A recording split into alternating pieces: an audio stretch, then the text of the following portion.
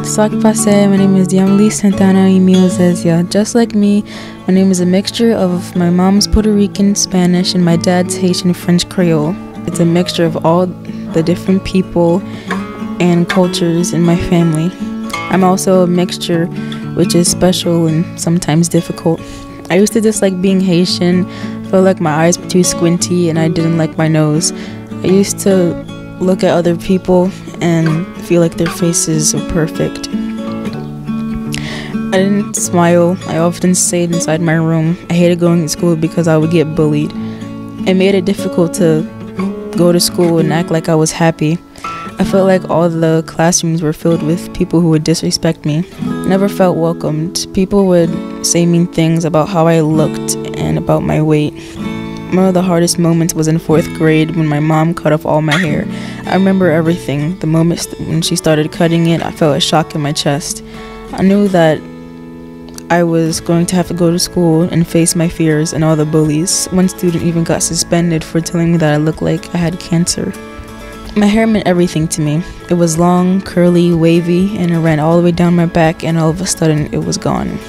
Since those days, I have learned to love myself. I got more support from my parents and friends, and I stayed away from social media and tried to think more positively.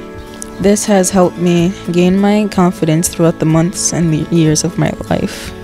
I wanted to make this film for everyone to get to know me better. I wanted people to hear who I am. I wanted people to know that I'm here and I am different.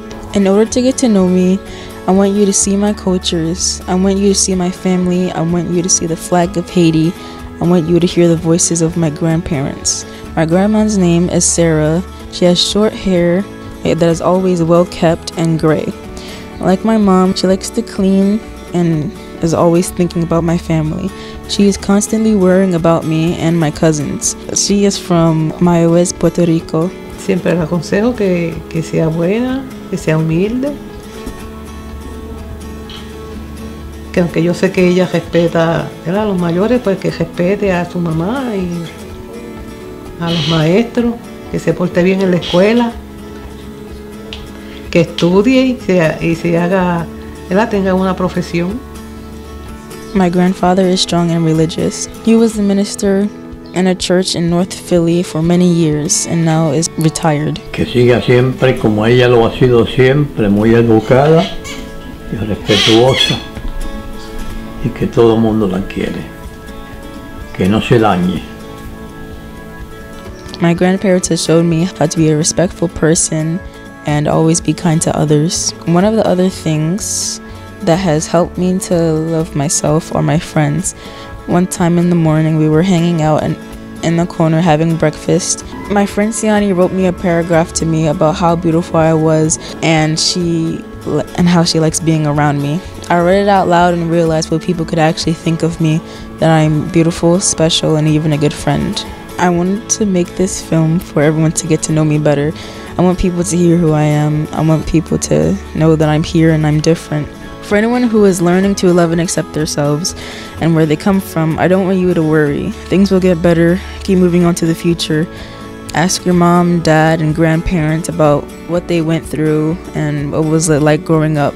That way you'll understand that you're special and unique in your own ways.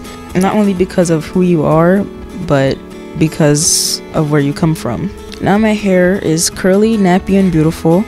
It springs out of my head like a forest. People have told me that they're inspired by it. It's rough trying to learn to love myself, but every day I'm trying.